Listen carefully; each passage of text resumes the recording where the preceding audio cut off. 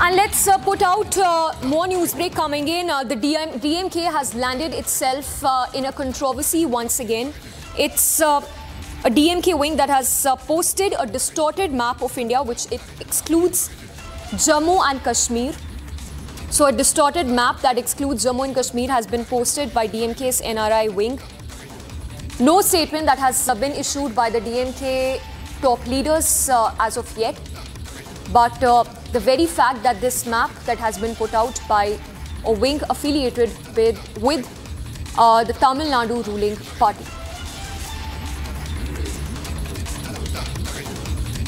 All right, we will just uh, try and go across to our reporters as well in just a bit. But there you see, uh, that's the map that's been posted by DMK's NRI wing, uh, which uh, has excluded Jammu and Kashmir.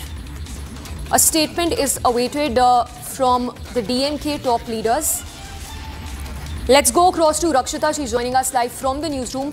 Uh, Rakshita, not the first time, of course, that the DMK has landed itself in a controversy in recent days.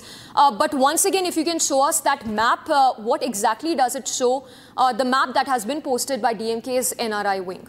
Absolutely, of course. This has uh, now, uh, you know, stormed a political face-off, also a war of words between the BJP and the uh, DMK the alliance. Also, remember DMK uh, NRI wing. This is the overseas wing that has now stoked this controversy by sharing this map. And you know, we've seen such map being shared by maybe China, distorted map, uh, you know, sharing uh, shared by China, by Pakistan. But this is a party from within the country. This is a regional party of Tamil Nadu. This is the ruling party, and this is the NRI wing, the overseas wing of DMK. And in fact, uh, BJP's uh, Tamil Nadu, uh, the Tamil Nadu unit has also now upped the ante, saying that uh, this is not the first time that uh, you know that this such thing has been done. Udayanidhi Stalin has also been accused of sharing distorted map back in 2020. So this is what is being said. In fact, Dr. S.G. Surya, who is the Tamil Nadu BJP state secretary, has called out the DMK in a very, very strongly worded uh, tweet there.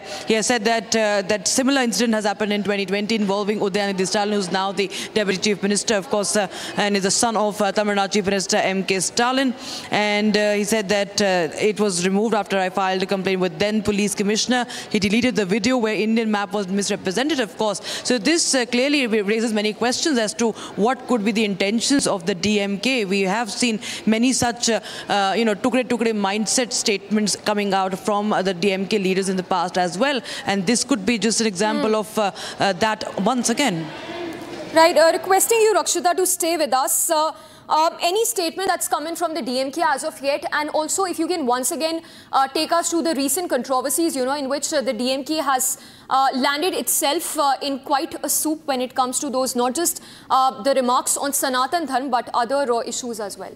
Absolutely, of course. The latest is, as you pointed out, the remarks on Sanatan and uh, uh, the remorselessness of uh, Udayanidhi Stalin. We've seen uh, Udayanidhi Stalin saying that he will not apologize for, uh, you know, the way he has compared Sanatan Dharm uh, to dengue, to malaria, and also, in fact, called for its eradication. And he is the Deputy Chief Minister. He holds a constitutional post, and despite that, he is unapologetic and remorseless, and he says that he will not apologize. He has called for eradication of an entire community, uh, you know, Samiksha and that's something that is very, very uh, problematic, and it's uh, of course uh, uh, completely anti-national the way right. you know many of the statements have been uttered by DMK leaders, and this is another example of that. of course, we have to wait and watch what the DMK has to say. Uh, Rakshita, stay with us. In fact, let's listen into that reaction that's coming in from Tamilisai on that distorted map that's been posted. No, I strongly condemn this because they are known for their divisive politics. First they told Tamil Nadu will be separate from uh, India and they told Adaindal uh, Dravida Nadu illa endal Sudugadu they told. And then uh, actually when they want to power and they politically they uh, want to get the power they compromise on that. So this type of divisive politics, uh, the DMK should stop this uh, divisive politics and discriminating the other religious people from Hindus and uh, these type of divisive politics they cannot encash more because they were doing that before. But now they cannot do, they should stop this.